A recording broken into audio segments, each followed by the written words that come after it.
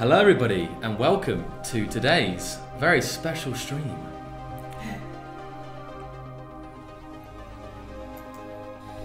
Hello, everybody. So, today I am joined by Olga and Marek, and we're here to discuss GoodAI and the general artificial AI challenge. So, I don't know if you guys want to do any intros here about yourself, maybe. I mean, you already you would know you guys, but. we can just start. okay. All right.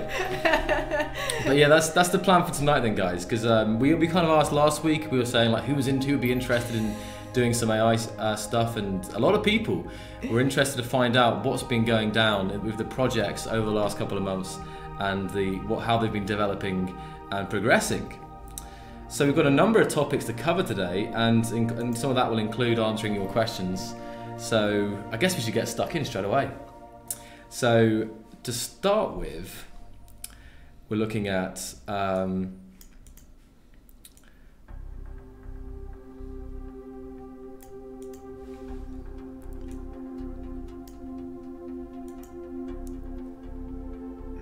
yeah. Yes, Joel. Hmm? So um, we- yeah, sorry, yeah, I'm just sort just taking this all in here Yeah. about what uh, you guys wanted to learn about Marek's general AI research and the development company GoodAI.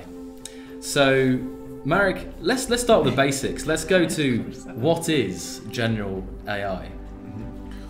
Uh, so the term general AI has been uh, invented to distinguish between narrow AI and uh, general AI. Basically, it should be just one thing, but the reason why we have or why we are talking about general AI is that many of current uh, AI approaches are very narrow. Uh, they are focused only on solving very uh, spe- specialized and uh, very narrow problems. Uh, the skills that the AI learns cannot be uh, transferred from one problem to another problem, cannot learn cumulatively or gradually. Uh, it cannot uh, use what it already knows, how to solve some problem to solving some other problem, and, and so on. So, in other words, basically, like the AI that we have today doesn't learn like uh, human, and uh, the general AI is this approach that is supposed to uh, bring us a human level learning capability. So again, narrow AI is what we have today, and general AI is what we should have in the future if we want to have like real intelligence. Cool, good answer. So, uh, I guess the next one is uh, why general AI, but you kind of covered it a little bit there. But any more reason for why general AI I, I can go uh, even more. in more detail? Yeah. Joe, The- technical thing, just see. They're posting about the mic. Technical thing. Yeah, that uh, they can hear Hardcore us very well. silence. Mark's a bit low, is he? No, s- yeah.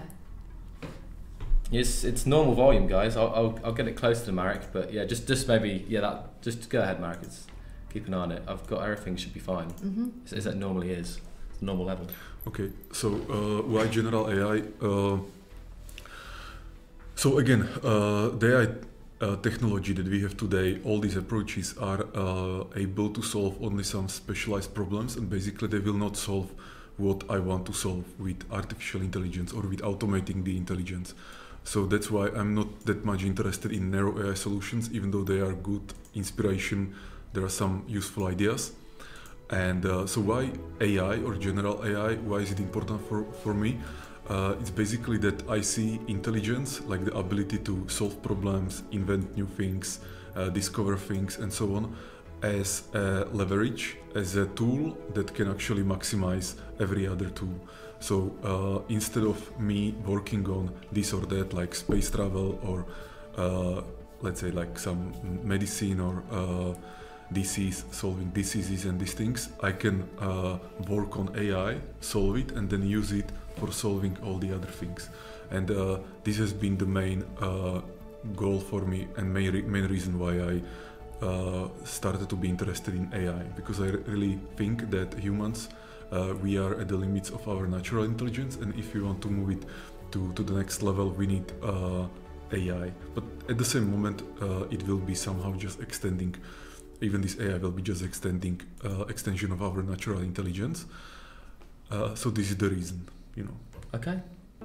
And um, what is the mission of GoodAI? Mhm. The Uh, yeah.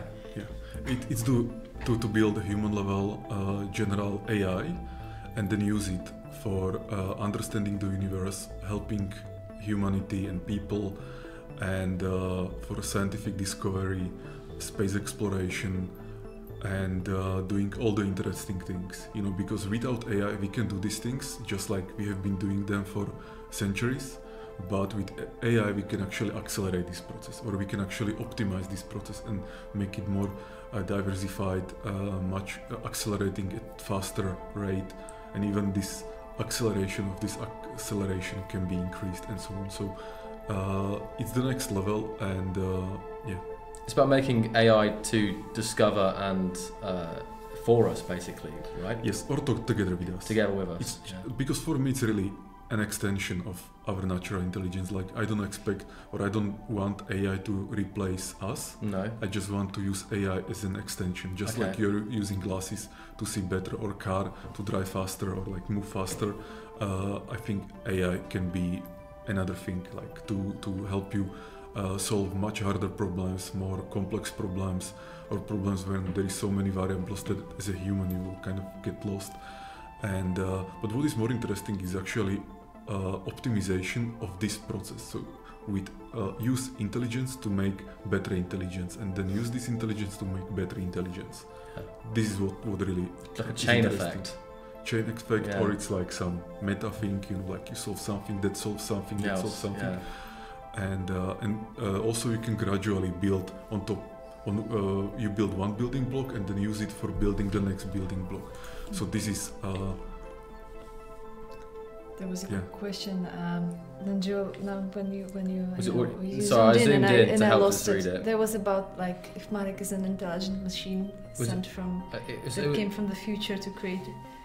Uh, Marek, itself, are you a super intelligent machine sent from the future to ensure your race's creation? Please confirm or deny.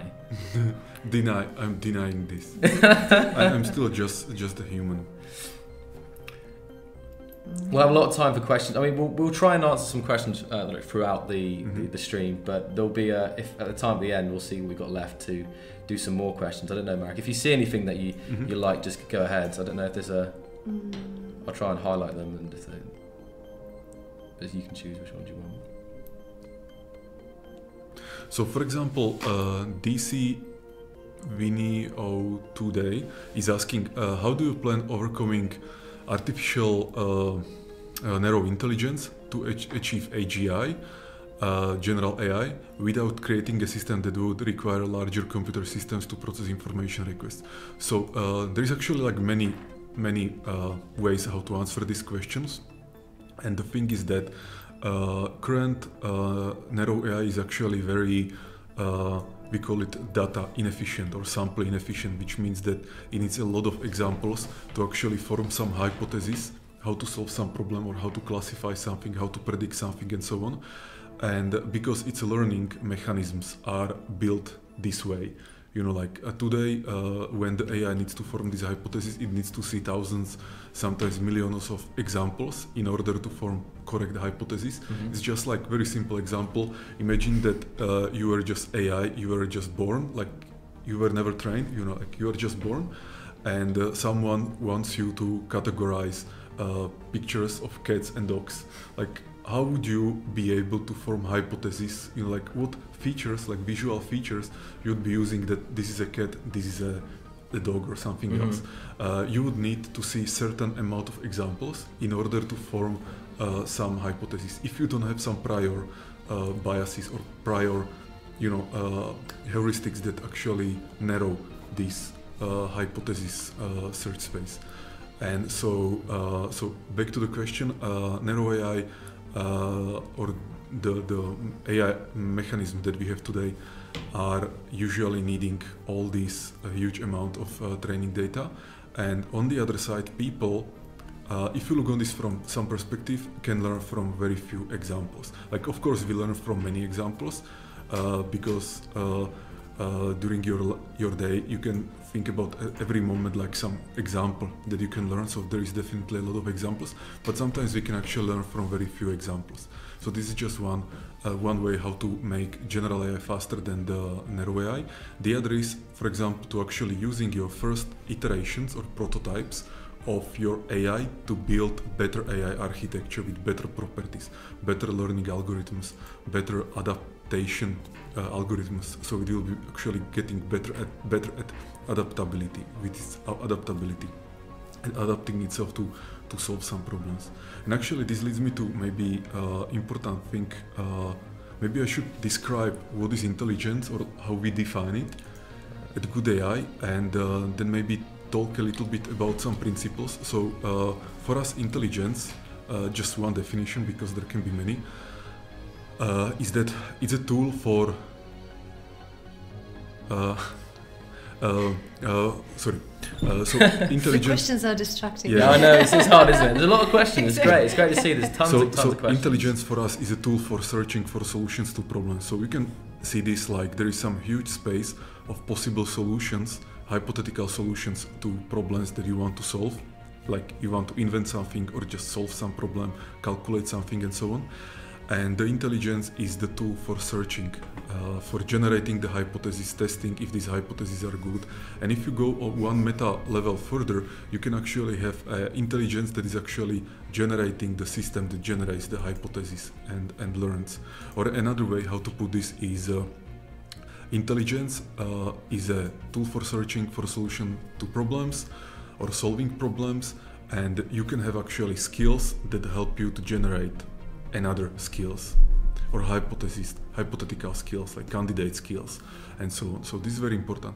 Another uh, definition of what we are doing here is that we are actually building system that is uh, adapting itself to solve novel problems never seen problems. And this is very very interesting that uh, basically almost any living uh, organism is also adapting itself through some feedback from the environment so that it can survive better or solve some other objective uh, in the environment.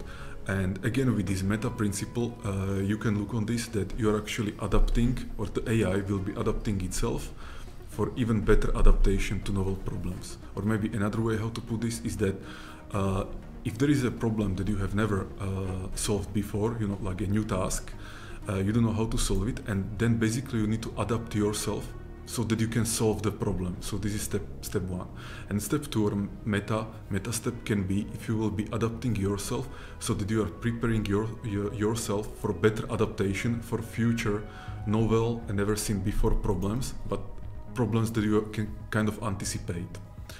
Uh, so this I, I think it may be kind of confusing but i will get back to this but Okay. these are the kind of like common sense principles you know Mhm. not very technical but still very important uh, that uh, we have like through like from bottom up top down uh, in in our architectures roadmaps and in everything that we are doing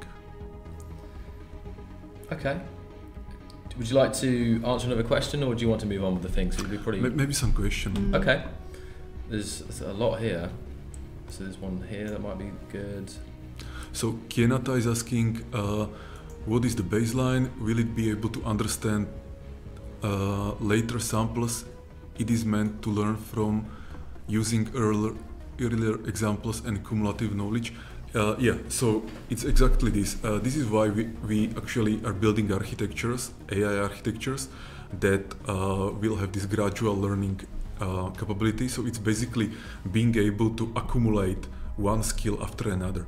So when it learns how to solve some problem, and then it needs to solve some other problem, it will try to reuse some of the existing skills to solve the new problem. And if this will not lead to solving the problem, that it will use these skills to discover a skill that can solve uh, this new problem.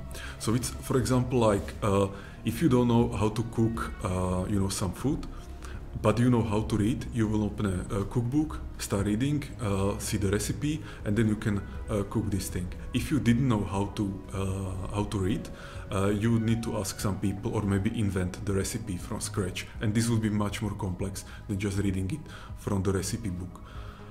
So that's one way uh, how to look on this. So again, uh, like what we are doing is about accumulating skills one after another and then uh, using learned skills to learn new skills more efficiently. This is very important because the narrow AI usually just learns some skills and then cannot use these skills to discover new skills more efficiently. I also like to question this one about the uh, some AI is based on flocks of birds, ants, etc. Some real-world models are considered valuable in AI. Have you used any real-world modeling? Mm, I'm thinking how to answer this. Uh, Like mm, I, I, I don't know what do they mean by real world models. maybe maybe like inspiration from from real-world Yeah. examples or some from nature, Nature. you know, Mhm. basically. Maybe not exactly these things, but uh, some parts of this because you can look on, or like people tend to look on flocks of birds, ants, and all these things like uh, complex systems or complex Mhm. adaptive system systems or multi-agent systems, and so on. And uh, you can uh, try to see how they are, how these agents in this scenario, like birds or ants and so on, how they are communicating together, uh, cooperating, maybe competing, uh, in order to achieve some global objective. You know, so uh, each of these ants or birds has some local rules that is um, like, you know, like executing. Uh, but uh, globally, the entire flock of birds or this entire multi-agent system has some emergent behavior, a behavior that emerges from these uh, uh, behaviors of the local or smaller agents. And there is some uh, kind of decentralization in the system. They are autonomous, uh, usually independent, and so on. So basically, it's like from having these local or micro rule, rules, you can get to these macro rules. And where are we using these? Uh, basically, all the architectures that we are building are uh, using in some way what we call experts. So these experts, you can see it like some uh, neural network or some different kind of uh, agent. Uh, is also trying to solve some problem, has some input output, and is communicating with the other experts in the in the brain of the AI. And uh, they are learning how to communicate, how to cooperate, and so on in order to solve this global uh, global goal or to minimize error, to maximize uh, reward or whatever we, we decide. And this is a big topic actually for us, this multi-agent uh, cooperation and like whatever you call it, because there is so many uh, subcategories or like sub-levels that, that are in this thing. So uh, I, I don't want to say that we are using exactly, for example, ants and all these uh, Hmm. Like there are some actually algorithms that are using the way ants are communicating by spreading the uh, Joel, how is it called? You know, this thing that pheromones. Yeah, Pheromones. pheromones. Spreading the pheromones and stuff like that. So there are some like ant optimization, something I forgot the name. so we don't need to use exactly these things because those are the rules that ants or the nature have uh, invented for their particular problems and their particular environment. Our experts in our AI brain uh, are solving different problem. It's different kind of environment uh, where you have different access to resources, uh, different communication and computation, um, you know, like uh, requirements and so on. So uh, uh, this is different. But what is same? It's that it's still multi-agent system. There is some communication, uh, cooperation, maybe competition, and many many other things. So Joe, you can continue. The next one. Uh, t- this one here?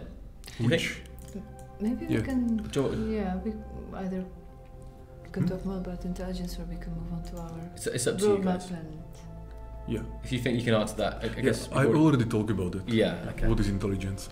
Then gradual learning I already kind of mentioned, but I can get um uh, back here because I think this is really one of the most important things that we have here. Okay, yeah, just talk a bit more about gradual learning then. Yeah. yeah. So basically, uh, we have this term. We call it gradual learning, but uh, in literature, uh, it is called different ways or uh, in different names. So some people call it cumulative learning or incremental learning or transfer learning, or I will not remember, but there is like maybe 10 different names. But why we call it uh, gradual learning? Because actually, uh, we don't just want the agent to be learning the skills gradually. it's actually also about us, the, the researchers, developers, building this architecture gradually and basically using one version of the architecture to invent the next level of the architecture. So you can think about like some kind of recursive self-improvement. Or some people may call it bootstrapping.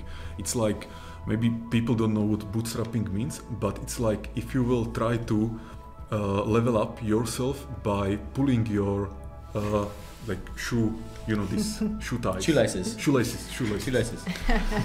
And uh, so again, it's like uh, you build something, and then this something will use itself to discover the next level, and then this new new thing will discover the next level, and so on. And why this is why we think this is more efficient than uh, the other approaches, uh, which are relying, for example, on manually like a human expert composing the architecture with all the topology and stuff, or setting up the parameters, setting up the learning algorithms, and so on. Uh, we think that uh, the final, uh, the goal where we are, or the target where we, we are going this uh, general AI with millions of learned skills and millions of experts that are communicating with each other. We think that actually it will be impossible for people to engineer this kind of system because it will be so complex that uh, we'll just get lost. So we actually need to solve this first meta problem, which is like how to build an architecture, uh, you know, that will satisfy this this criteria, Huh. and uh, or maybe another way, it's like how to engineer a process that will lead us to engineering this this general AI. It's like if I know that I'm building something which I am with my human brain unable to to do because it's too complex, I need to think about ways how to engineer the engineering of this process. So that's why we have we have this meta learning and, and so on. And uh, back to to this topic, gradual learning. Why we call it gradual learning? Because it's gradually accumulating one property, one skill after another, and basically optimizing itself or improving itself uh, to be a better at adapting. You know, basically all the way increasing its ability to adapt uh, itself to solve new unseen problems. This is the thing. It's just like the challenge that Olga is is uh, running, and we'll get also back to this with it, later. Yeah. Uh, there is this first round, we call it gradual learning, and uh, there are tasks. There is 40 tasks. They are symbolic, and the agent or the participants should design agents that will uh, learn uh, to solve one task, then another, then another, and so on. And these tasks are designed in a way that uh, some tasks are reusing the skills learned in the previous tasks, or like most of them should be. So, uh, if you are solving task number 10, uh, if you and at the beginning you don't know how to solve it you know because it's a new new puzzle for you basically so Uh-huh. you don't know exactly like what kind of symbol should you should you answer but if you will uh, use your experience on the previous tasks to generate the hypothesis how to solve The the next, the, the next ten- one. tenth task Oh, the, okay. so again you are solving task number 10 ten. and if you will use what you learn in 1 to 9 uh, in a way to bias you kind of to generate the right hypothesis in the in the tenth one. yeah, yeah. Uh, you will get, you will reach the solution faster than if you will be just like scratch, shooting, or- go from scratch, Yeah. or just shooting randomly or something like this. So Mhm. again, uh, if you are solving task number ten, uh, and you are trying to solve it just by giving random answers, you know that's the worst way how to solve it. But Yeah. the better way how to solve it is to basically bias yourself in a positive way, uh, so that you are generating a hypothesis for the solution uh, that were somehow useful in the previous tasks. So it's like basically some way how we are actually looking on this is that as you are uh, learning to solve one task after another, you are biasing yourself uh, in uh, in uh, the way you are generating the hypothesis for solutions. You're using that the existing knowledge to, to create the hypothesis for that for the next task. Yes, yes, because you are uh, you are having higher chances of finding the the right solution. You know that's the point. And uh, because the other choice that you have is just random choice or random luck, you know, just Mhm, like mhm. shooting the answers, which can, uh, especially for the later uh, tasks like task number 40 and so on, it would take you forever to give the uh, the good answer or to give uh, sufficient amount of good answers. And uh, if you want to increase your chances of giving good answer, you should actually use all the gradually acquired skills, you know, this will give you uh, higher chances of achieving uh, good answers or like a, a good, good row of uh, good answers. So. Uh, do I don't know if you want to. There was something here. There was this one here as well.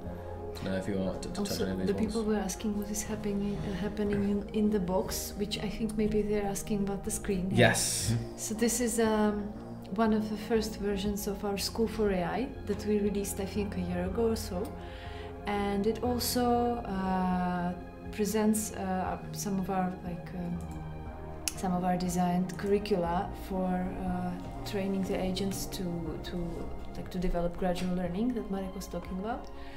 And uh, back then we were experimenting with uh, quite complex, or like they're still quite primitive, but more complex environments that we have in the challenge.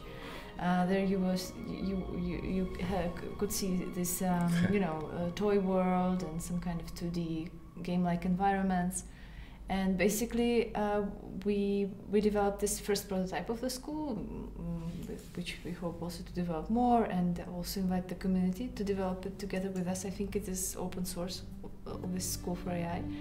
And why school? It's because um, we have in our roadmap that Marek might probably talk about also uh, later.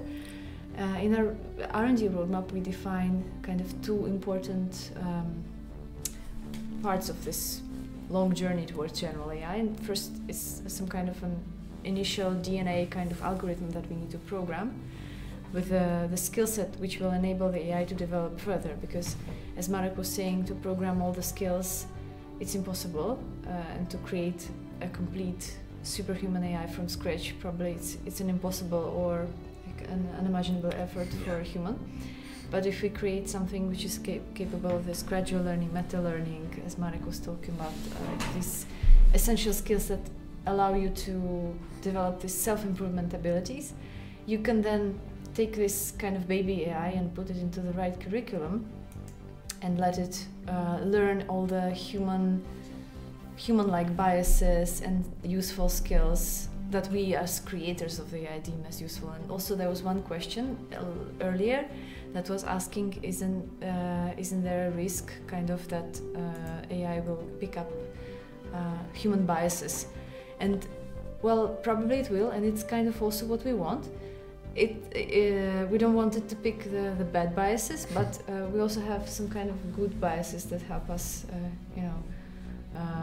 survive in this world and accomplish things and so on. So, and uh, also we, what is important, we, we want the AI to have a behavior that is kind of similar or that we can imagine. So it's not it's not completely unpredictable, and also an AI which is able to model human desires, human human behavior, and can actually understand what we want when we say something like "bring me tea."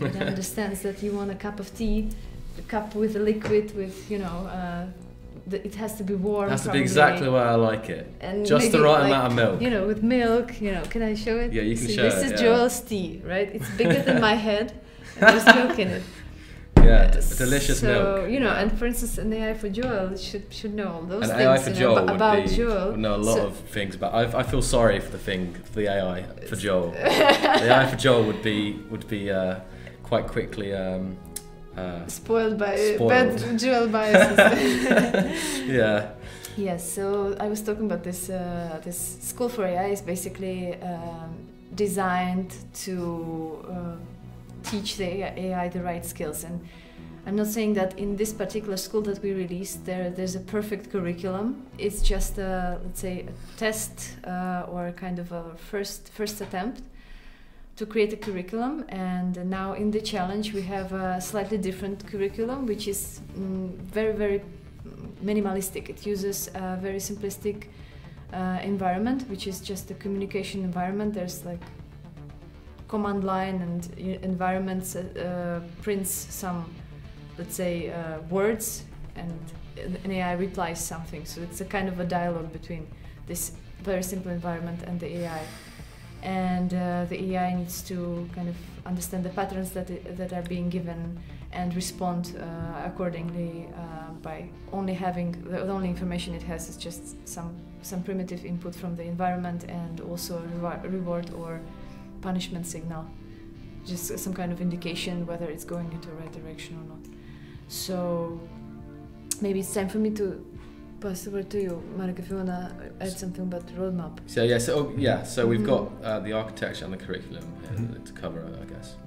Okay, so uh, this road mapping process was uh, very important for us, and uh, because first, uh, before actually starting to work on some specific architectures with some specific requirements and properties, we wanted to make sure that in long run uh, it will be the the fastest, most reliable, di- diversified way how to how to get there, and. Uh, um and so we spent a lot of time uh, actually uh, looking on different architectures, uh, uh, looking on what kind of properties our architecture should have, and so on. And uh, so uh, the roadmap is split into two parts. There is this architecture, which is uh, what properties should the agent uh, have, and by these properties I mean ability to learn in unsupervised way, uh, to learn these uh, patterns in space and in time, uh, to form some short-term and long-term memories, to be able to generate hypotheses, to learn gradually, uh, and so on. And uh, so you can think about this architecture like some kind of network, growing network of experts with some subnetworks and, and so on. And then the other part is curricula, or we call it School for AI, which is a set of learning tasks where the AI will uh, learn one useful and beneficial skill after another. And uh, what Olga showed you in the video uh, was our first attempt at doing you know some learning tasks, but of course they are far from uh, finished or far from being the best, the most optimal or the optimal curricula for our agent. And it was our first attempt. The second attempt is basically what we have in the general AI challenge uh, in this gradual round, uh, which is much better uh, at uh, actually showing the graduality of the tasks. Because in this school for AI, it was actually very hard for us to see uh, where the agent is actually reusing some skills in some uh, following tasks, because there wasn't that much reuse visible. And uh, in this gradual round, it's much more visible, and uh, so it's better actually uh, for testing our gradual architectures.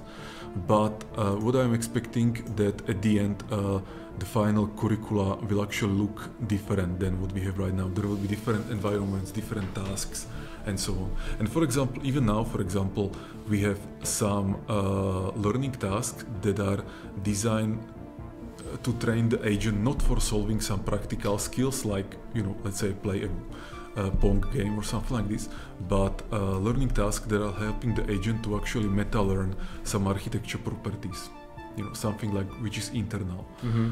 and uh, and uh, like for example we want agents or so, sorry these experts to learn to communicate to each other to cooperate to achieve some higher level goals uh, for example or we want uh, these experts to learn how to have some kind of robustness to failure you know like in this network of experts there can be some failure there can be uh, dropped messages there can be uh, some experts being kind of lost or maybe one computer in a cluster will uh, will shut down and these things this thing should be robust even against these things. Or actually and this is a big topic and kind of we'll skip there uh, one thing uh, with recursive self-improvement and what we are doing here is recursive self-improvement is that how to ensure that the next iteration of your self-improvement will actually not lead to uh, worsening your adaptability your ability at recursively self-improving. So think about this like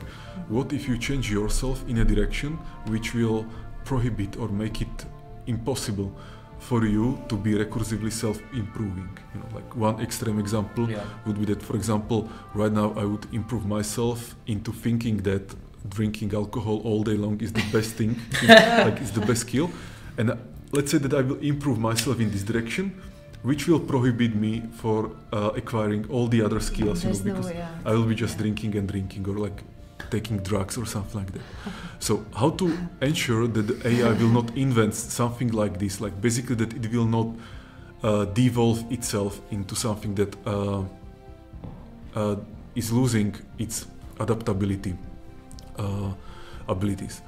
And uh, one way how to do this is actually to have some revert mechanism. You know, something that when you reach a stage where your ability to improve actually decreases, you can revert to previously working solution.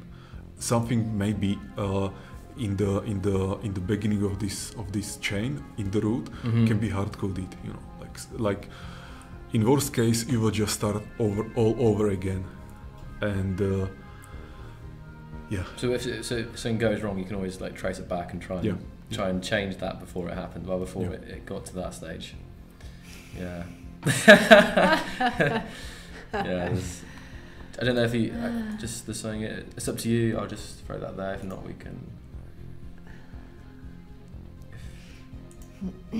Or we can. So it'll be covered the curriculum now, haven't we? Then. So Mhm. it's now now, in a, a topic that I'm sure a lot of people are, are interested in, and this is the AI safety topic. I saw a couple of comments today, not not too many. There was a. I think there was at least one saying about Skynet. I saw today. there we go. Hope you don't make Skynet asylum. So, what do you what, what's your views on AI safety? Because there's a lot of people out there. Some scientists, like quite leading scientists, have been like, you know, AI is even the death of us, and other scientists are more optimistic, and you know, like yourself, I think, who believe that if it's taught right, then it'll be it'll be not a problem. But yeah, so what what are your thoughts on that? Yeah. Uh, so there are different uh, risks and then different solutions. Uh, probably nobody can give you 100% guarantee. You know, it's some like mathematical proof or something like this. I think this will be impossible uh, because uh, like we are playing in a field of approximations, only Yeah. like solutions that are good enough. And now the question is like how good enough? You know, because even the airplane uh, or the car or even the the tea with milk that you are drinking Mm, like delicious. you have only you don't have a hundred percent guarantee that I didn't put poison there, right? no, I don't. You like some really good. Uh, I only probably have about ninety percent certain. Uh, there's, there's probably about ten percent every time I have my tea. That Everybody's Marek. making jokes, jokes about Joel. So so, but but again, uh, you're kind of generalizing the the tea like uh, for all the years you have lived, and like there's the chance that someone put their poison is like really small, so you're uh, going to drink it, but yeah, uh, but you don't have nothing can stop me from hundred drinking my percent tea. cer- certainty.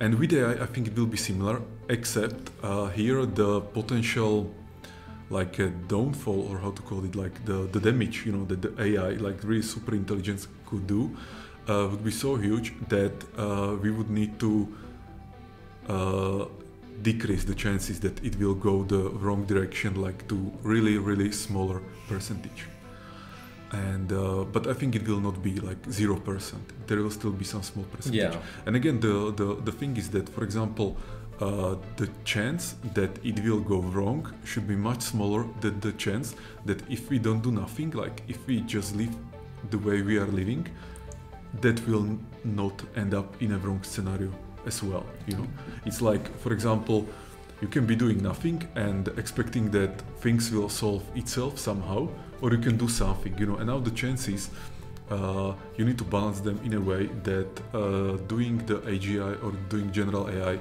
uh, will outweigh, you know, these these other things.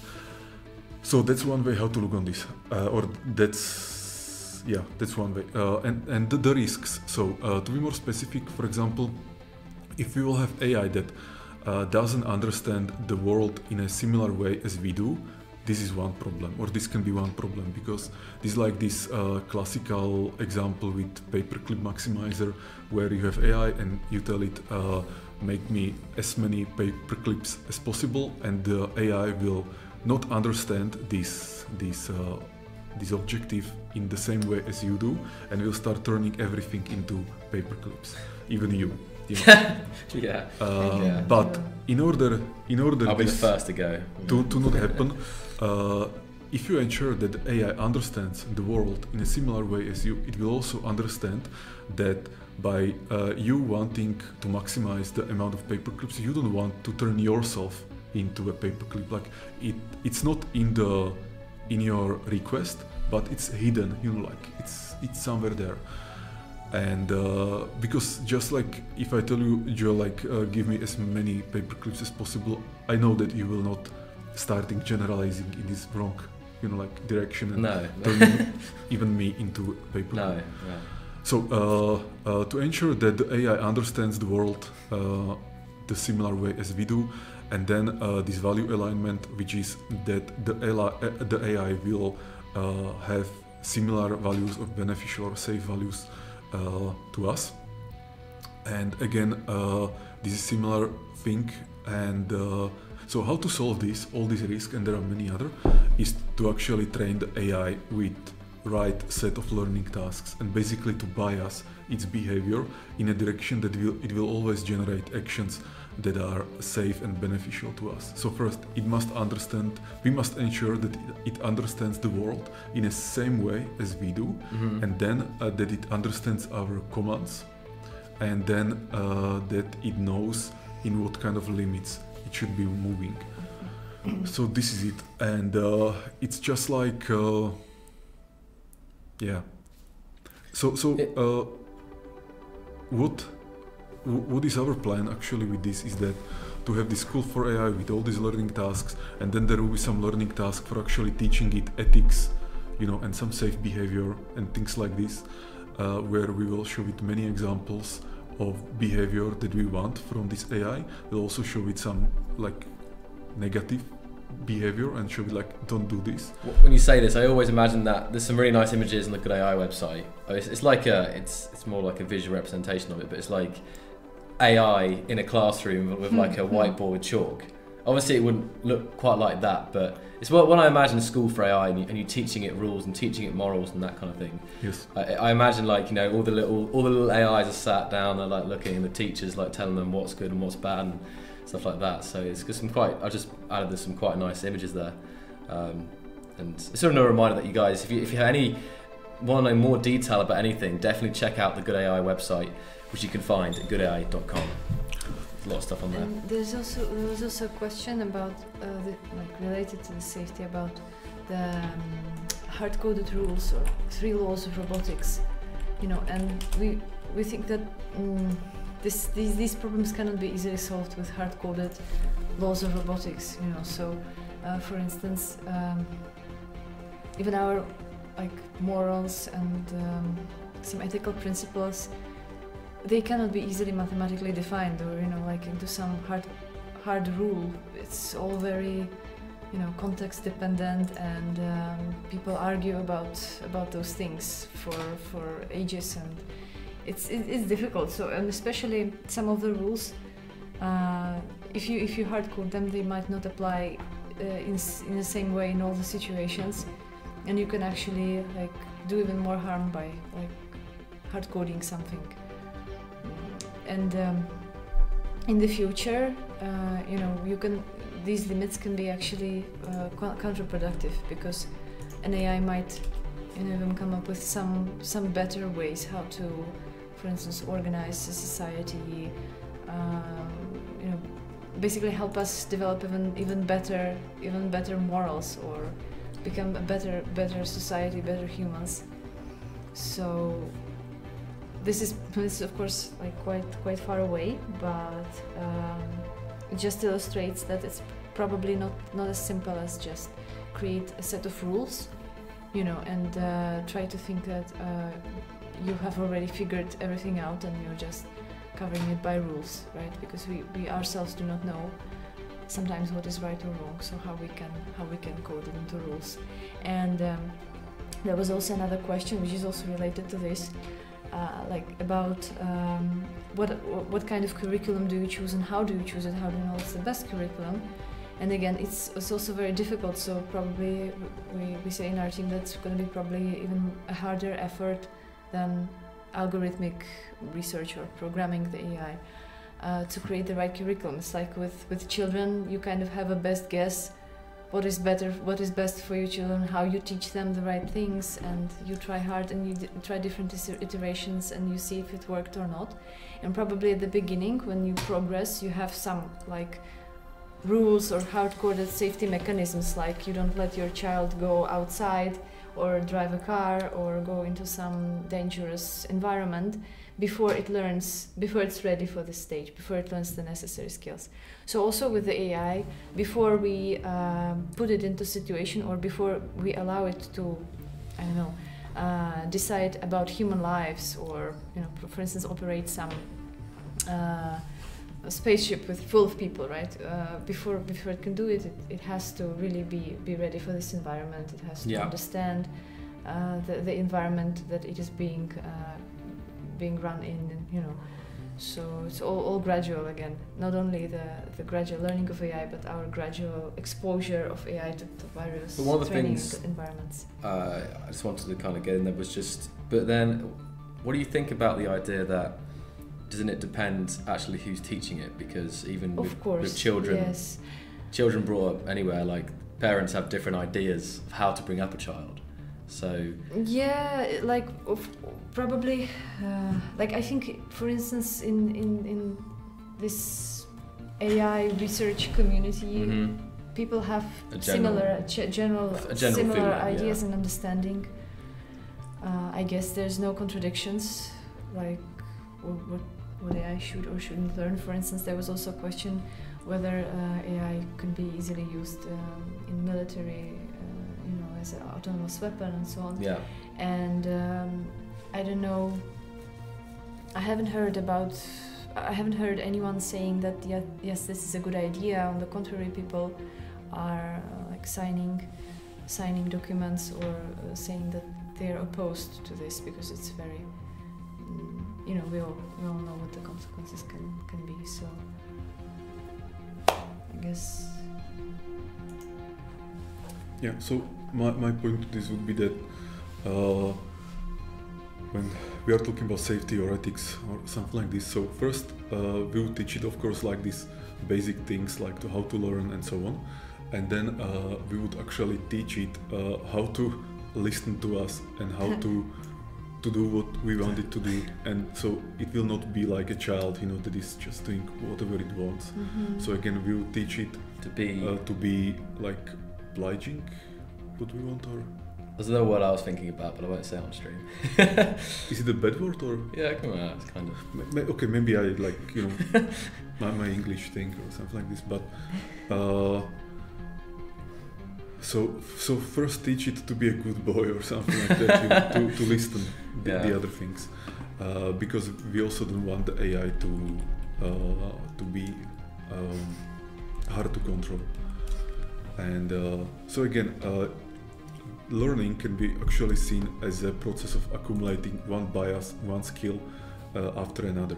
And uh, one of these skills uh, should be actually ability to listen to, to us and to do what we want it to do you know? So Mhm. this was this would be one of the first things that i would do to really ensure that it's when i say no it really understands no and not like maybe you know? So uh, i would really make this clear. And then i would uh, show you many examples of uh, some moral dilemmas or situations or whatever. And i don't think uh, just a few rules can define what ethics means uh, because uh, even for people and even for, for older people there can be uh, situations that are in this gray area of morals you know Yeah. it's like is it good to kill a person in this situation and this situation but what if this what if this or uh, very very simple examples are these trolley problems with uh, cars you know that uh, should the self-driving car uh, like uh, Kill you? ki- kill like yeah the passenger or some people outside or the old guy or the young people like how should it decide like Yeah, who has the is- lower it's tough value or something like this so this is a tough question Because there's a lot of opinions, answer. isn't there? There's a lot of there's a lot of opinions there. Like one, in terms of if you wanted to teach it, some people might do something separate to Yeah, other people. What you But would do, or I would do. The thing is know, that I, do, I don't even know if you know what I mean like Maybe, like yeah. I, I don't even know like should it kill me or the people outside like I don't even want to answer this question yeah, in the, in the moment, you don't really know. What, it's hard to know what you do. Yes, yes, yes, Maybe, yes. yeah. And then there can be like different objectives uh, because some people may prefer, for example, like uh, let's use AI to have fun today and don't think about the tomorrow. Some other people will actually want to invest a lot of into the future and they will not uh, try to exploit as much of these short-term uh, things. And so on. So this is another thing. And uh, so again, I think the AI will be building uh, this loosely, these loose concepts about how it understands the environment, how it understands what we want, uh, how it understands its own goals or the goals that we can like put to it through commands and so on. And uh, it will not be um, like uh, goals defined with mathematical precision. You know, there will always be some some gray area in these things. And our aim is to uh, design curricula that is minimizing all these uh, negative consequences. Yeah.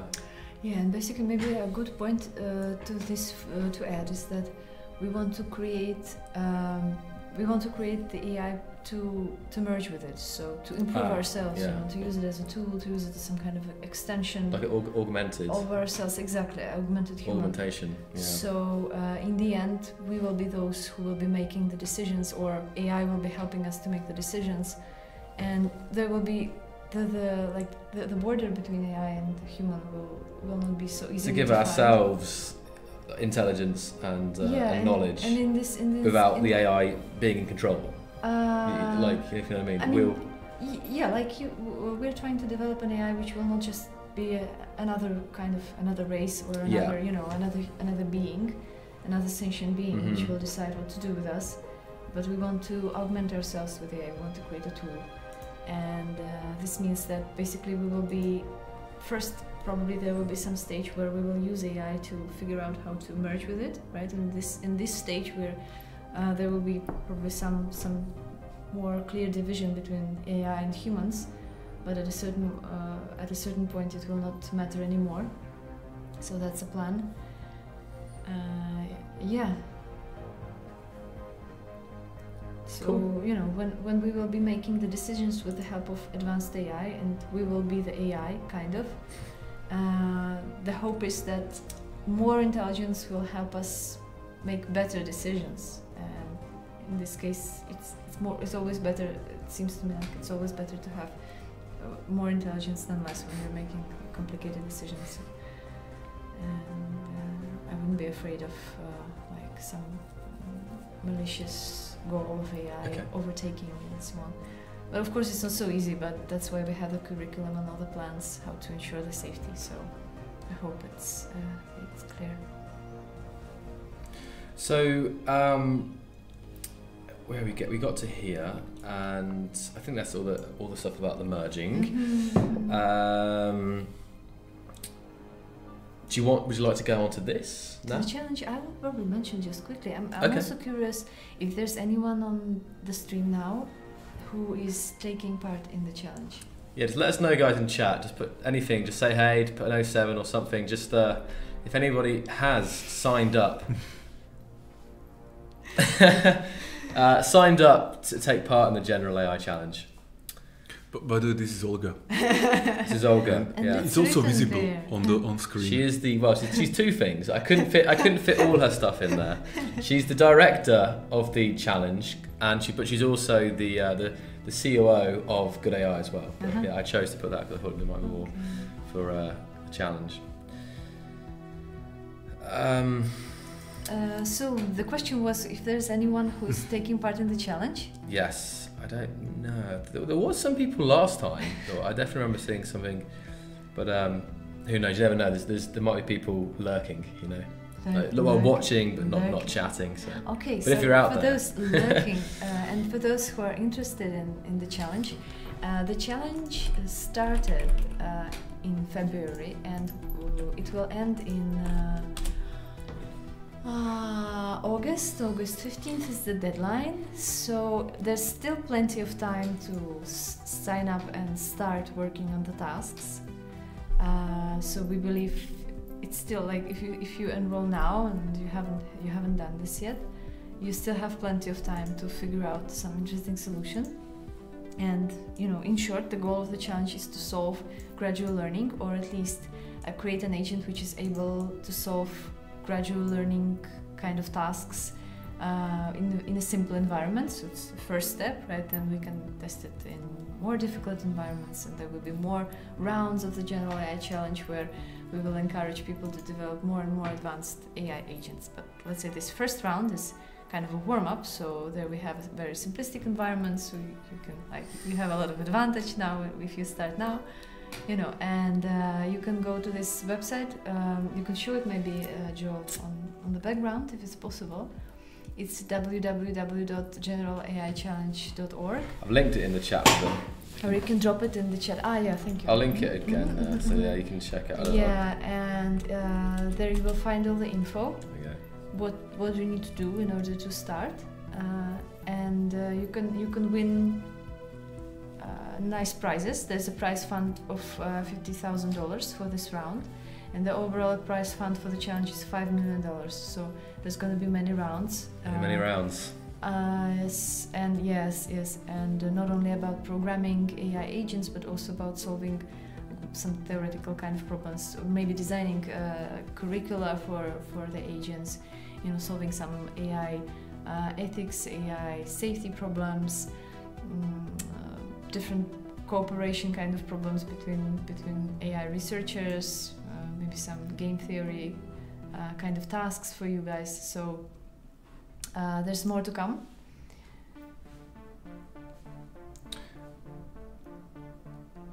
It's interesting here. I will ask in the Keen forums for partners to see if there is an interest. Professional programmer, 27 years. Yes. We actually have a thread. Let me see if I can find it for you. There's actually a thread there, Heron, uh, on our forums. I need to remember where, where it was posted. Uh-huh, uh-huh. Do you know where it was posted? Oh, it was no, in, I remember now, I think. Uh, we would be really happy if there's uh, there are more people from the gaming community uh, taking part in the challenge. Right now we have 300 over 300 360 participants. Most of them are individuals because I think it's quite hard for people to find someone to join the team. You know, it's easier just to enroll as an individual, and maybe the tasks doesn't doesn't seem just the task doesn't seem so tedious, so people want to also try it on their own. You know, and. Uh, why gaming? Because you know Marek has a gaming background and uh, he's doing AI, so I guess the, the skill set is a kind of right kind of skill set yeah, actually, for this type of problem. Yeah. I, I think uh, uh, game developers or programmers have some kind of uh, advantage if they uh, understand the theory behind intelligence and AI and all these things. Uh, because like when you develop games, you get used to designing some complex systems and uh, you are turning you basically are constantly doing some kind of research and turning it into uh, development and some and engineering and some real product every day uh, and also uh, if you are doing some complex game uh, uh, with rendering physics and many other things you need to be optimizing it and sometimes yeah. even start with optimi- optimized version so i think game developers uh, or people with game development background are a good profile for doing uh, AI not just for this challenge but for any kind of AI. I was thinking, what would you say to people? Because there's a couple of people who want to take part, but they don't have any programming skills. Is there is there is there a place? I guess within a team. Within a team, yeah. Within a team, uh, you know, if you if there's this can be a researcher within a team, so that's worth pointing out. If you can find a programmer. Um, to, to team up with or a group of people, then you don't necessarily need um, programming knowledge to uh, just a passion for AI, really, and it, well, yeah, an interest. The diversity in the team can be actually an advantage, and yeah, uh, there are two uh, two categories where you can win in this first round of the challenge. So the, the overall fifty thousand uh, prize fund, fifty thousand dollar prize fund is divided into like chunks, and in uh, subjective category, which is kind of a best idea category. You can uh, there's first, second, and third place, and if I'm not mistaken, it's ten, seven, and three thousand dollars. And then there is this uh, uh objective category where uh, people will be actually submitting the code, and you know the code will be the code of your AI agent will be run against the set of testing tasks that we prepare, and it should pass them. And there's this prizes of first place is uh, $15,000, then $10,000, and then five. And people can also win in multiple categories and multiple prizes. We will see what kind of solutions we get. And uh, so this best idea, this uh, qualitative or subjective kind of prize, uh, doesn't necessarily have to be a code. So you can also submit a white paper. On our uh, challenge website, there is a specification of what should this white, paper include. It really should be structured. Uh, so we actually, because if we, receive a lot of them, we will never get to evaluating all of them properly because it would be just too much. And we already have over 300 participants, so I assume like there, there's going to be a lot of submissions. So uh, you can even submit your idea without the code. But of course, like having the code there is it's more interesting, but uh, there's a chance for you to.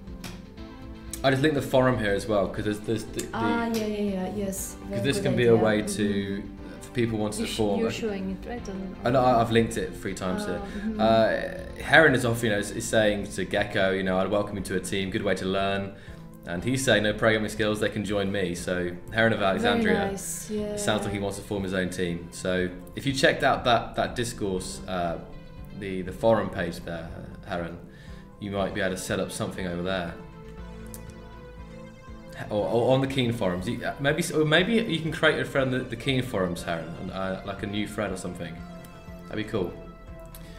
Um, now let's go back to We also had a webinar about the challenge uh, recently uh, with with London TensorFlow community, and it's somewhere on YouTube, so people can watch it uh, to find out more about the, the tasks. And there's also an example architecture. is it on the uh, challenge YouTube? Uh, should be should be linked there. Uh, And if they, uh, if the guys, if you guys Google, uh, you know, the General AI Challenge and look on our YouTube, there are some, there are some lectures or Yeah. some presentations where you can see examples of tasks and learn more about what, what you will be solving. Which one is it? Which one is it, Olga? it's Do you know which probably one? It's probably not It's not on- yet. on there, okay. But we can post it later then. Mhm. The best thing is if you go to the, the, the main website, guys, all the links to all the various social media stuff's over there. What do you want to do, Olga? I'll just Google it while you're talking. Oh, I'm, I'm, oh.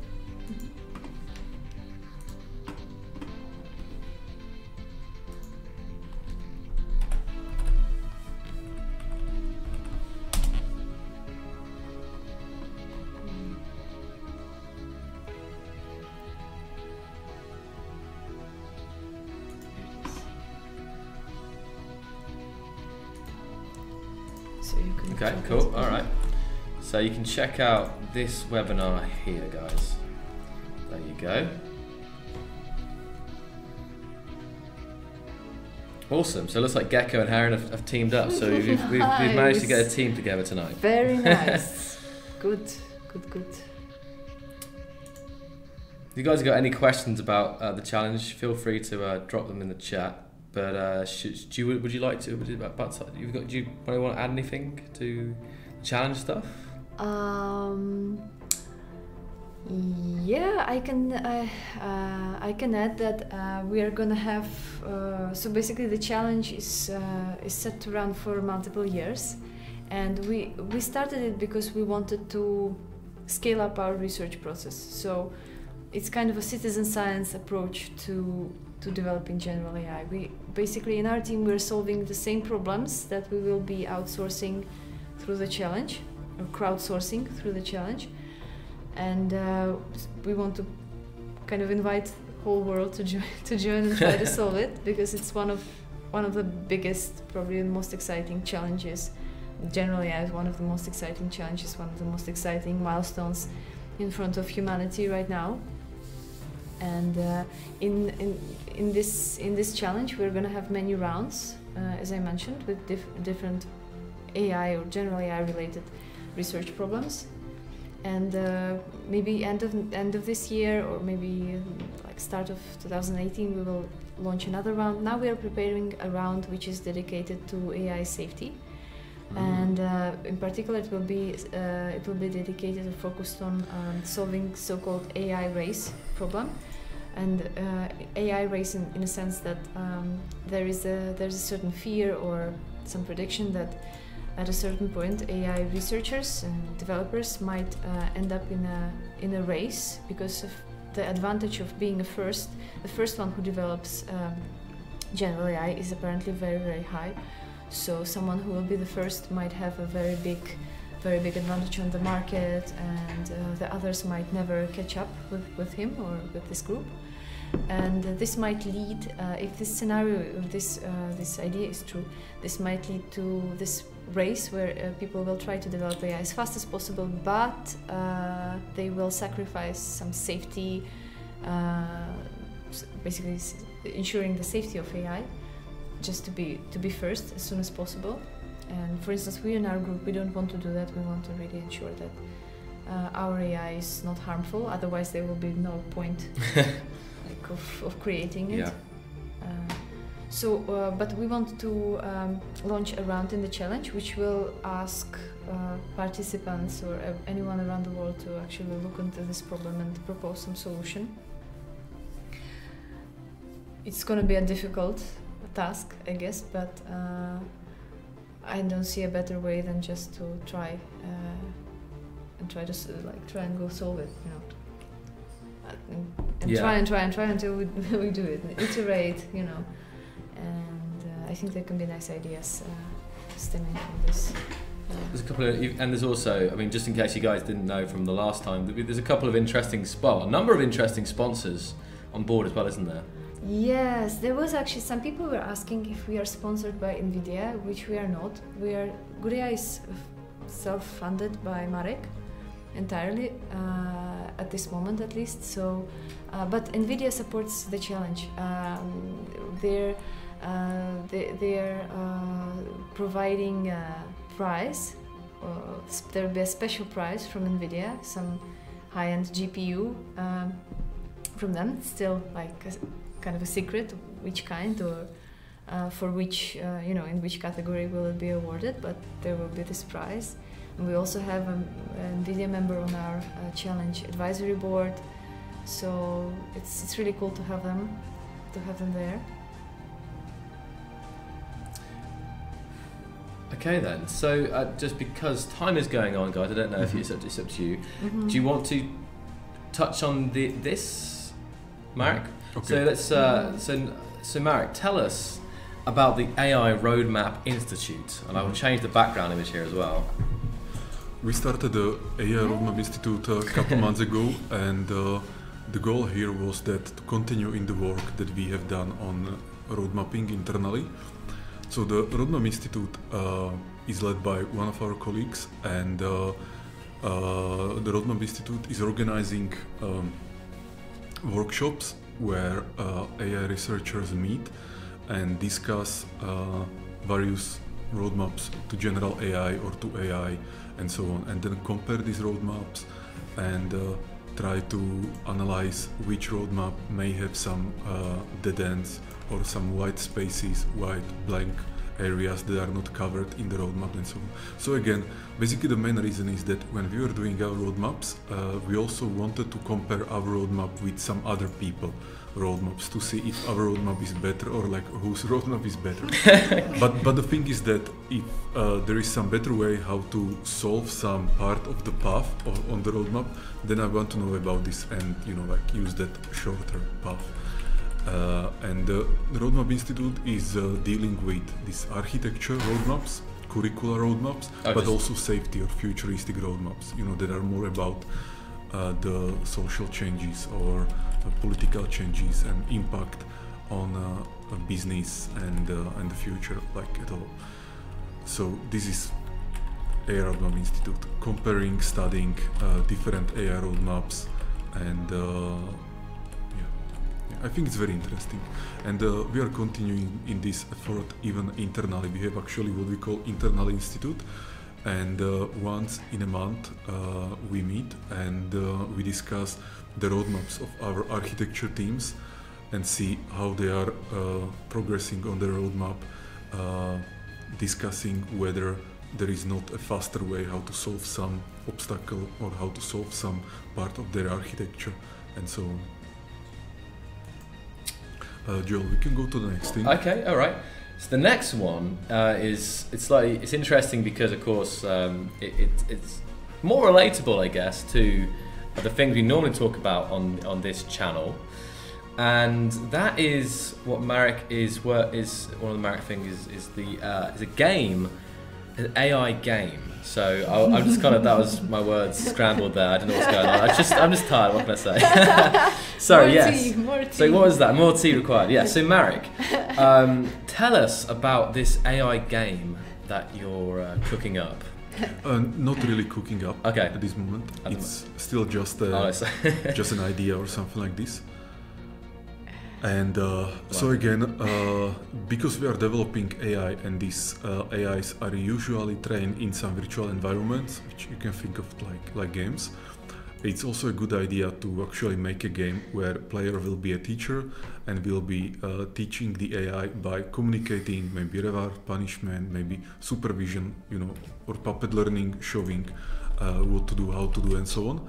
And the AI will uh, learn from this teacher how to solve some problems in the environments and how to learn gradually uh, to, to use learned skills uh, to, to solve some other skills and learn more skills and so on. So uh, this is something which we are not developing uh, yet, but uh, I think it looks uh, like one of the best use cases for for one of our architectures Mhm. that we are building here. But in order to do this, we actually will really need uh, architecture that can learn gradually, and then uh, we will need to teach it some set of basic skills, and only then people uh, will come in and start training, teaching uh, this AI. Otherwise, it will not be fun. Like, for example, if we use uh, today AI, like current AI, narrow AI for uh, teaching, uh, then players will need to show the AI, for example, thousands of times how to do something, you know, uh, Yeah. and uh, the AI will probably not be able to learn gradually, so we will can forget all the time, and it will not be able to to form uh, more complex skills or uh, like. Merge together multiple skills and so on so it will not be so much fun so that's why we actually first need to develop some gradual architecture and then teach it something and then uh, we can make that game so this is still like very early Very early stuff. Yeah. very early stuff yeah Just- but just- very, very interesting thoughts. yeah Definitely interesting.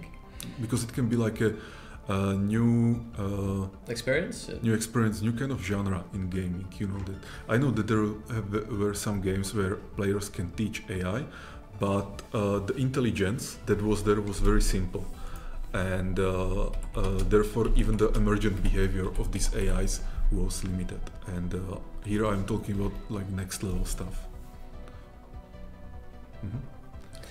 So the next thing we've got, we wanted this stuff, but I, I don't know which of this you want to cover, or if you want to do some more questions. We haven't done some questions for a little bit. It's up to, it's up to you though. If, which one of these you want to? Maybe a few questions Okay. and then yeah, because it's time.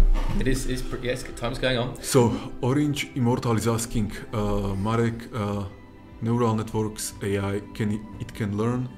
Uh, so in our architectures, uh, there are two groups that are using neural networks, or at least uh, some networks of neural networks, and uh, then there are two, two other groups that are not using uh, neural networks per se.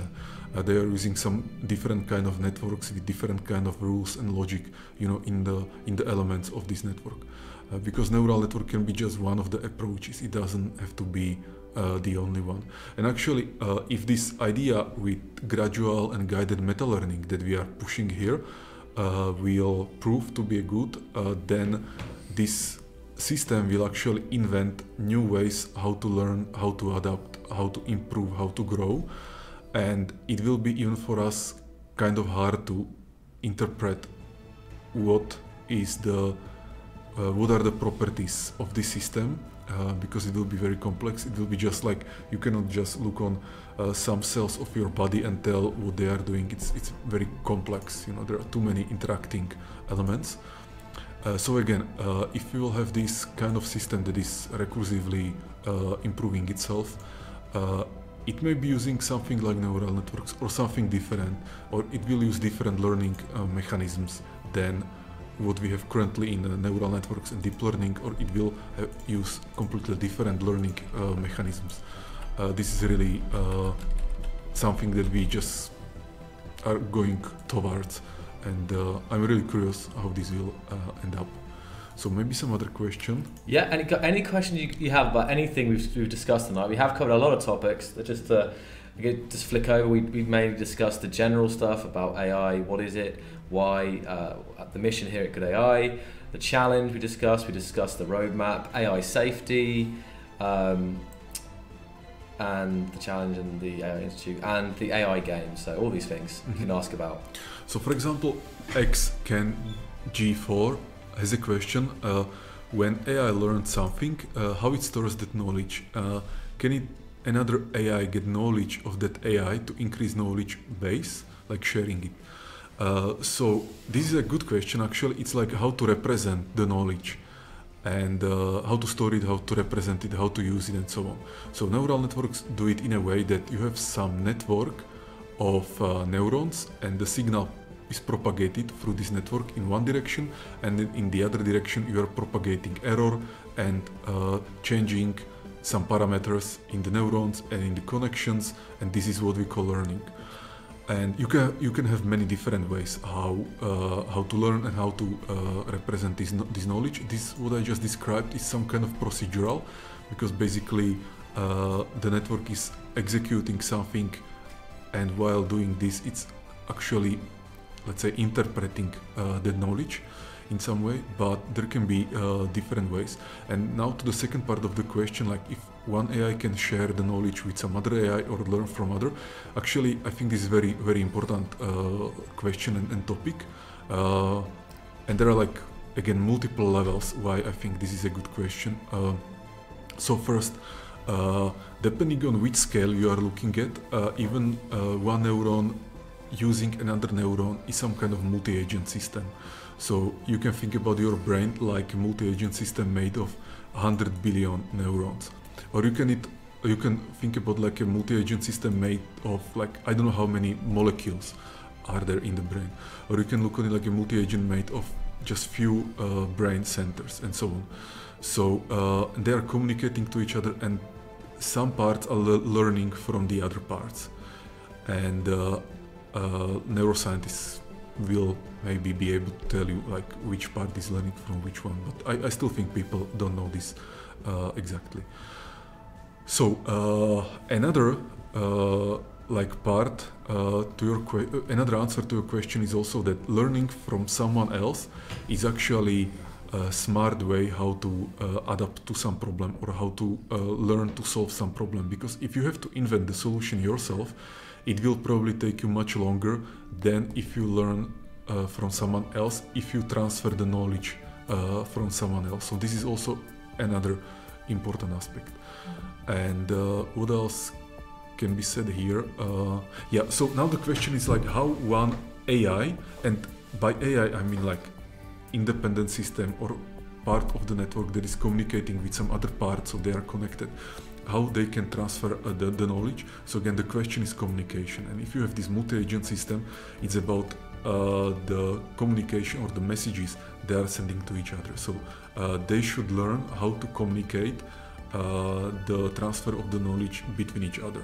this is the this is the thing like and how to do this that's the hard part of course but the like basic description is that uh, one AI or expert or agent or whatever uh, will learn uh, how to communicate some knowledge from someone else. And we people we usually transfer knowledge by you know exchanging words and sentences and all these things.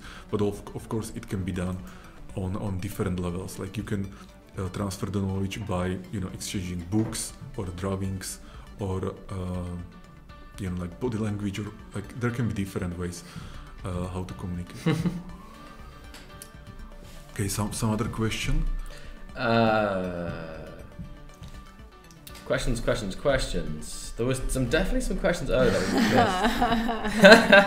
yeah, and I think who's uh, I just saw that uh, DC Venue returns. I, I know you might have some questions earlier, DC. Any questions, guys? Uh, from if you are just joining us again. So Ventus Prime is asking how much hard disk uh, will eat up the AI when it's learning. It's a good question, Hmm. and uh, like how much memory? Uh, I, don't know uh, exactly for now.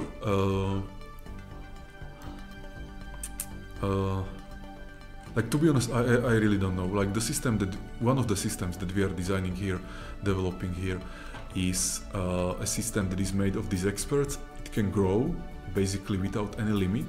Uh, of course, then the communication overhead will increase. But again, there can be some other parts of the network or of the agent that will uh, uh, focus on optimize just for making the communication more efficient. And this system would be growing, and therefore even this hard drive space would be growing, and the memory would be growing, and so on. But this was a good, good, good point because actually one aspect of intelligence that we didn't talk about today at all is uh, limited resources. It's like uh, if you are solving some problem and you are not talking about that you are constricted by resources, you know, like computation uh, Yeah, when- or when you're time doing your or, stuff, or memory. Uh, like you should be talking about this kind of stuff because you don't have infinite computation, No. infinite memory uh, to solve these things. There are actually some uh, theories about artificial intelligence or intelligence or some uh, you know designs for some AI that are assuming that you have infinite computation and with this infinite computation you can have general artificial intelligence even today except the problem is that no one has computer that has infinite No. computation and infinite memory so uh, back to earth uh, or down to earth uh, Yeah, that, uh, back- we need to really uh, consider limited resources as one of the important things. And so again, uh, and maybe I should have said this when I was talking about definition of intelligence. The thing is that intelligence is a tool for searching for solutions to problems when you are bounded by when you have bounded resources. And like you don't have infinite resources, you have certain amount of resources, and you must invest them in a way that is increasing your chances of uh, discovering the solution. You know, yeah. like uh, the likelihood of discovering the solution.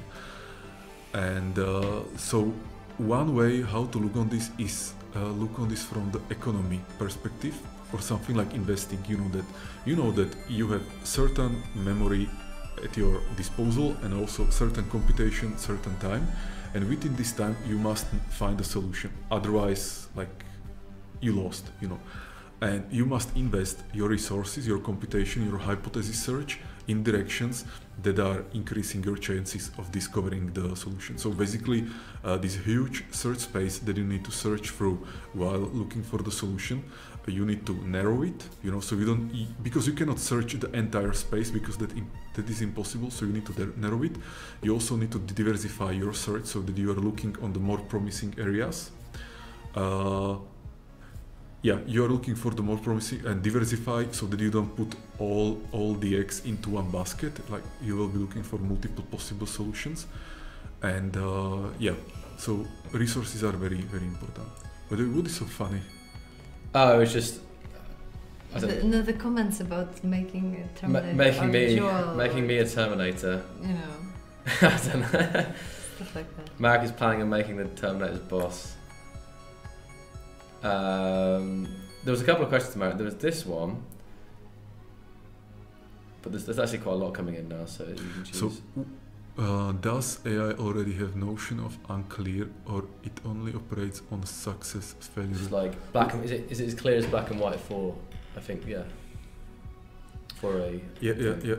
This this is more complex question, but the Mm. thing is that uh, there are some AI algorithms, like for example, reinforcement learning or some like picture, uh, like visual recognition things, where you have certain certainty or you have some certainty of how sure the AI is about uh, you know its decision. So, for example, when the AI is uh, classifying some image and saying like there is dog, there is a cat, it will tell you this with certain number, like you know, it will be on a scale from zero to one. So it can say like, okay, I'm 100% sure there is a dog, and I'm zero per, like my confidence in saying that there is a dog or cat is, is zero, and so on. So there is this thing. okay But I, I would say this is very simple level of confidence, and actually, I think what is more important or interesting is when the AI will have its own abstract concept of confidence, and then we'll be using this to uh, to make its decision, set goals or sub goals, and so on. So I'm not saying about some mathematical uh, function that is telling you good or wrong, but actually about some abstract concept that is telling you this is good, this is wrong, or my certainty is this or that, and so on. So. Uh, uh,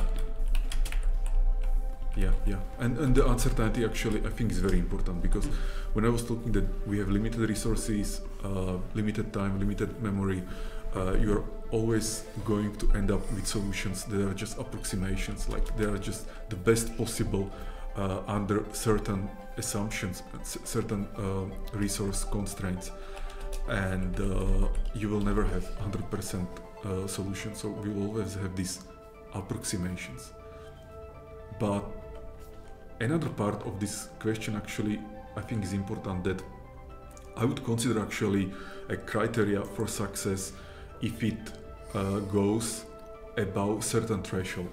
You know, like sometimes you don't care if you are doing something on 100% or 90%. Yeah. Like unless you are doing it above, let's say 80%, it's good. You know. So uh, just like in this gradual challenge, we have uh, we have this criteria actually for evaluating the agent that as the agent is learning to solve the tasks, uh, we don't really care how efficient or how good the agent is at solving the task. Like it can make some mistakes, but uh, there is this thing that it must be successful enough. Or Olga, maybe you remember like how we define this. Uh, Um, uh, not, not- ratio, ratio of like it's like how much you can. You're okay to have a little bit of yeah, like basically we are not not we are not but accumulating the all the efficient. No. All the good answers that the AI will give us and they're like, okay, this AI has uh, better performance than this AI because it's winning in more cases or something like this. Like we don't really care about this. The AI just need to uh, go above certain threshold. of- Yeah, not the being score, successful, basically. yeah, yeah. not some like. It's like successful enough basically, Yeah. and then we stop counting. So the Mhm. AI that can solve something with better score than some other AI is equally good for us, and the only parameter that we are looking at is how fast, how many time steps uh, did it take to discover that solution. But then we don't care about how good that solution is when compared to something else. This was very important for us because we are uh, like the aim of our goal uh, of our uh, project is to build AI that is actually fast at adapting itself or Yeah. learning. Mhm. We don't really care situation. how good it solves the solution if they are solved it like good enough or like I forgot this word but it was really nice like uh, Acceptable. I think it's acceptable. Acceptable? Yeah, I think it's acceptable. Like if the performance is acceptable, but I know that it may sound like some weak. Like Think- uh, good enough to good start enough. solving Can- another yeah, task. yeah. in Yes. the next It's Yeah, like task. let's say that basically. that Yeah, you are playing yeah. a game and uh, uh, if you are not like a pro gamer or something like this, good enough or like uh, acceptable performance, your performance of, on the game is acceptable if you are able to progress in that game, Mm. and you don't care if you are like killing everyone, you know, like headshots and stuff like that. So uh, this is this this this stuff. So again, what we care in this challenge is how fast uh, is the agent at uh, being able to solve the new problems, the problems it never encountered uh, before. This is what is important Mhm. for us, not how what is the performance or the score uh, or the reward or whatever Mhm, mhm, of the mhm. agent on those tasks. This is very important. Yeah, so basically not optimizing for performance, but for ability to solve new problems. Yes, yes, Yeah. yes. Mhm. Okay. Okay. So what else? Well, there's, uh, there's this thing hi- which is this this the main question is I don't know if you did you answer this one or am I going crazy? Uh, no. The question is, yeah, do- That's the main I can look at something else.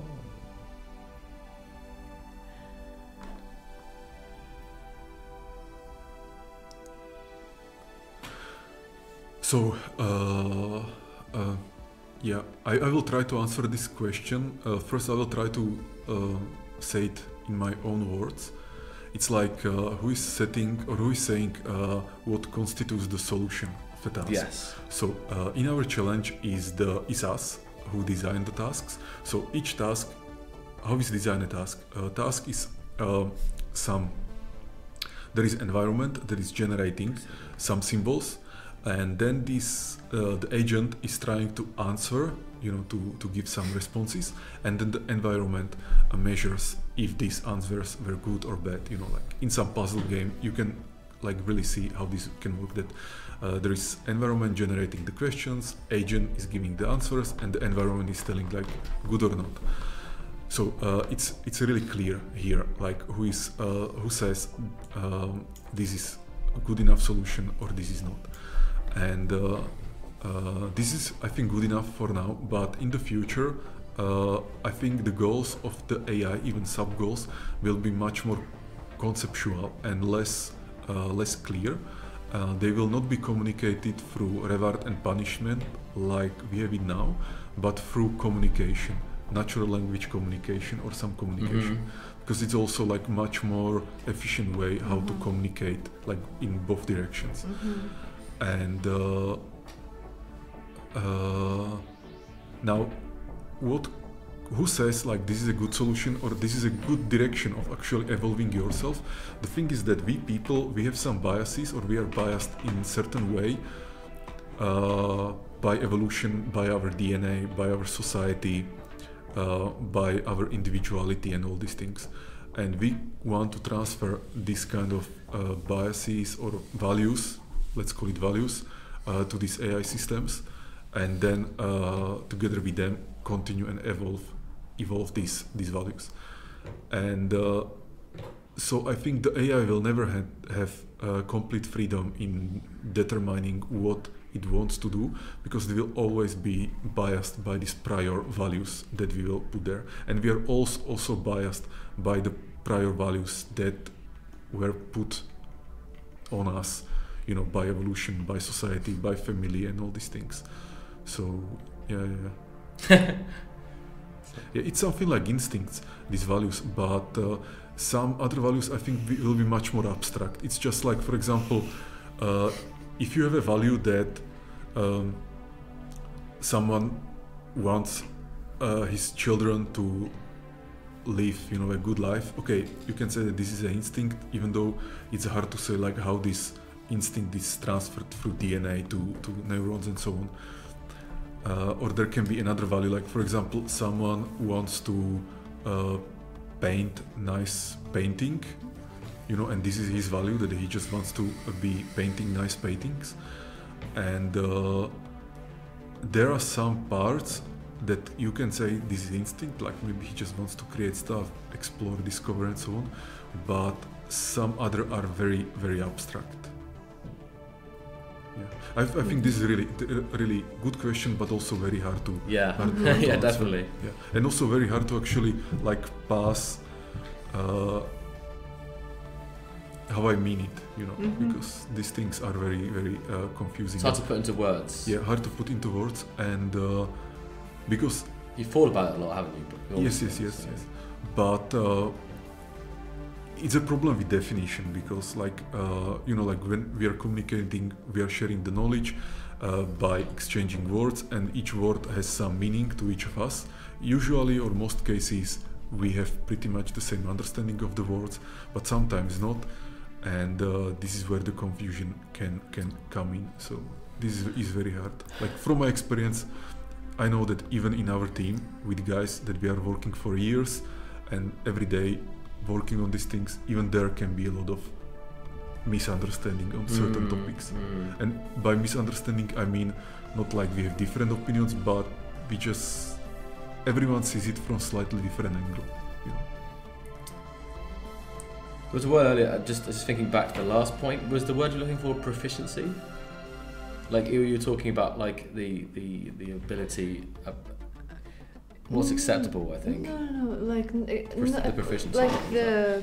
Sorry, the sorry to opposite get back of- to that I one. guess just- the opposite of proficiency, because proficiency is kind of like to me it sounds like perfection and something, you know, okay. and that's not necessarily like in order to move on to next tasks, you don't always need to be a master, a professional, or proficient at, at this previous thing, you know. hmm So so maybe one last question Okay. Because we can always do this you know, in the Yes, future definitely, definitely. So uh, Christopher is asking, uh, wouldn't the AI, uh, sorry, wouldn't the AI evolve to not use these values at a later stage? because it's gonna optimize itself. So I think this is a good point, and uh, I think if these values will be uh, designed and learned in a good way, uh, then it will have values uh, that it doesn't want to overcome these values, if you know what I, what I mean. It's just like, for example, my current values prohibit me killing people, that I just don't want to kill people. And I also don't want to like alter my brain, you know, like to start playing with my brain and to change myself into wanting to No. kill people. No. Uh, because I don't want this thing, then I'm also not going to evolve myself into wanting to kill people. I know that this is kind of like crazy example, but like you know, easy to understand. Yeah. And uh, so I think this will be uh, the same scenario. Uh, the problem is, of course, if there will be misalignment on the understanding or on these values and so on. Like that's that's obviously there can be error. You know, uh, that's one thing. But there is also like a different side of this problem, and it's like if this AI will be recursively self-improving itself, uh, we may not be sure uh, in which direction it will actually evolve itself after cer- many iterations you know because it's a complex system it's an adaptive system. So it's a system where it's very hard to predict how the next step will look like and even much harder how the next next level will look like and the Mhm. next next next and so on. So like for example i cannot predict how the human society will look in 10 years uh, nor can i in 100 years or billion years or something like this. It's just like if people in a uh, you know some neanderthals if they would be predicting uh, 21st century and they will be like okay people will be using internet mobile phones and No. you know Yeah. uh, twitch and all these things like of course it was impossible for them to To, predict. con- to conceive that yeah, even. because they couldn't just take uh, linearly and just expand No, what they had like no. okay so they will have probably more fire they will have probably bigger caves you know Yes, and like it's, it's that would true. be their prediction. But uh, like the real prediction would be if you start putting these things on top of each other like this exponential gradual uh, thing. And uh, it it wasn't possible. You just need to like simulate those things through. It's that kind of uh, systems co- complex adaptive systems that you cannot have mathematical formula that can help you predict the next iteration. You actually need to simulate through it. And if it is something as complex as human society or as complex as ai uh, you will have to simulate that system. So for this reason for example we don't really want to uh, develop super intelligence in the first stage. We actually would be very happy if we have something that is human level AI uh, helping us to augment Our, ourselves ourselves, yeah. yeah, and then actually self improving ourselves uh, to, to the next level because then it would be uh, improvement of the AI but also improvement of us so we will feel more com- confident in this you know in this scenario. Uh, again like uh, how we will like we us will look after I don't know like 100 or 1000 iterations I don't know maybe like the me what I consider to be me you know my values my Yeah. memories maybe it will be like a super small part of this new entity you know because it's just like uh, my like three-year-old Marek is probably still somehow inside me you know like there are probably maybe like somewhere in w- there. one or two memories but that, that's it like you know there is so much more of the new Marek that is there that this this small Marek or little Marek is just like uh, how to say this? Like very small part of me. And uh, again I also don't feel like this little Marek is dead or something like this. But again it's illusion you know like Yeah. all these things but again, uh, if we value these illusions, you know, that uh, we have this continuity of, of of, of our identity, and for some reason it's important for us, then it's good to think about how we can maintain this this uh, continuity and how we can maintain this this um, continuity of this illusion that it's actually us who is self-improving and not some alien AI system, you know, that is self-improving itself, but we are not so. So yeah, yeah, yeah. So that's it, Joe. Cool. Yeah. All right. By the way, guys, I'm really happy for all these questions. Mm-hmm.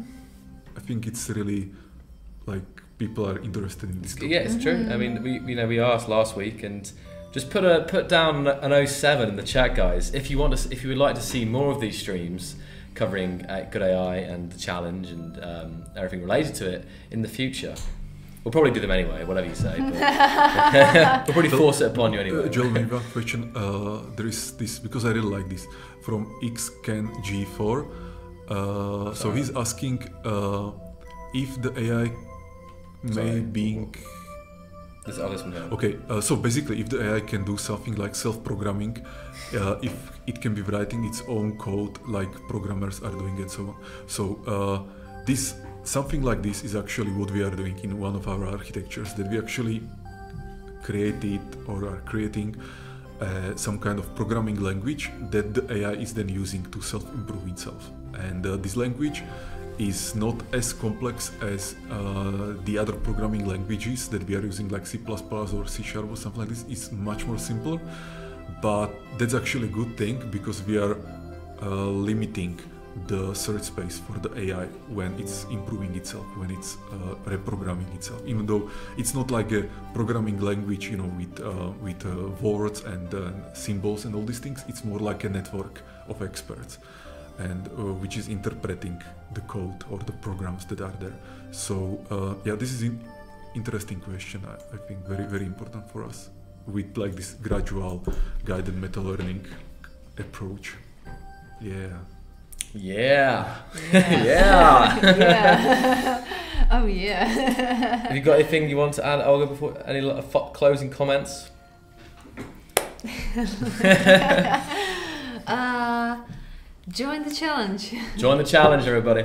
You know where to find it. Again, I got some uh, people who, who joined us late. You can find the challenge there, the Roadmap Institute there, and yeah, that's that's they're, they're the main ones that are worth checking out there.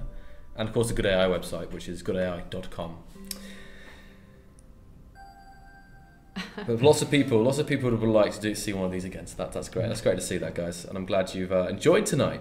And uh, there'll be definitely more uh, opportunities for more questions uh, in the coming weeks and months. So thank you. Thank you. Thank you. Yeah. Yeah. So you thanks. for good questions. Goodbye. Bye.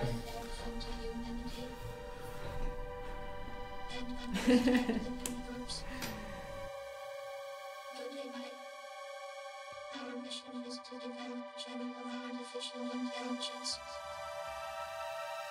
helpful to humanity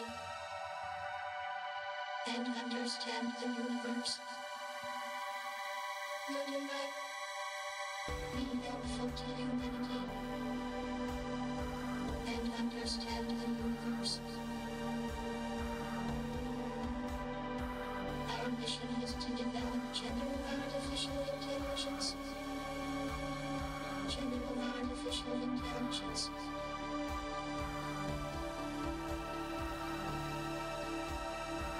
Be helpful to humanity